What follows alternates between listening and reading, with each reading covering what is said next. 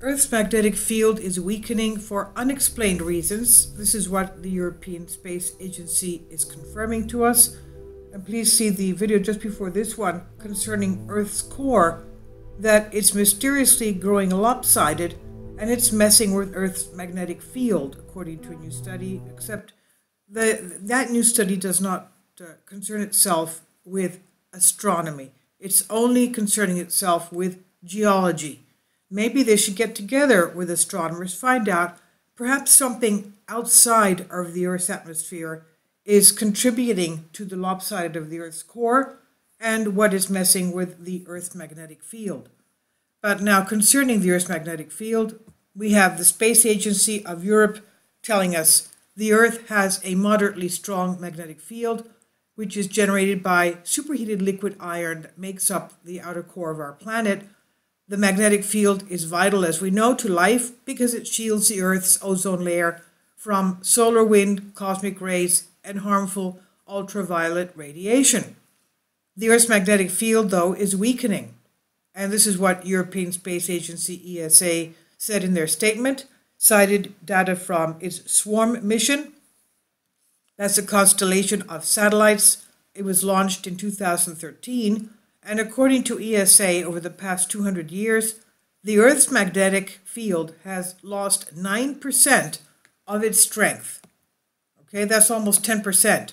In 1958, scientists discovered the South Atlantic anomaly. It's an area that sits between Africa and South America. That's where that magnetic field has been weakening considerably. And according to ESA's latest study, the area has grown. Kindly support my Patreon account since YouTube has again demonetized my YouTube channel. The daily posts are five videos daily, and they are totally different from what I have on my YouTube channel. Thank you so much for your support and that you find all my content so interesting. You'll find the Patreon account details in the description box below. And this is the area, as we can see it, it's growing west, and it's grown 12 miles per year, and scientists cannot explain why. It's moving westward at 12 miles a year, which is pretty fast. And uh, we know that something else is happening on the North Pole, in the Arctic region, we have the magnetic pole moving from Canada towards Siberia about, I don't know how many, tens of miles a year. It's moving very fast lately.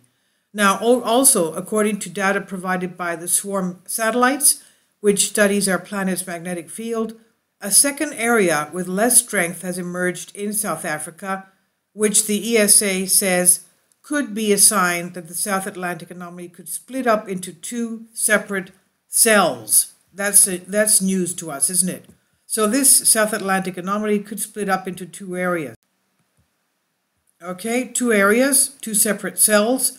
The new eastern minimum of the South Atlantic anomaly has appeared over the last decade, and in recent years, they said, is developing vigorously. This is what Jürgen Matzka from the German Research Center of Geosciences says. And he says, We are very lucky to have the swarm satellites in order to investigate the development of this South Atlantic anomaly.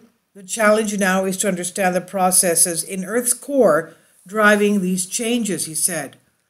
Now, the space agency said one hypothesis that may explain the magnetic field's bizarre behavior is a reversal of the north and south poles. Yes, they're talking about pole flips and re reversals here.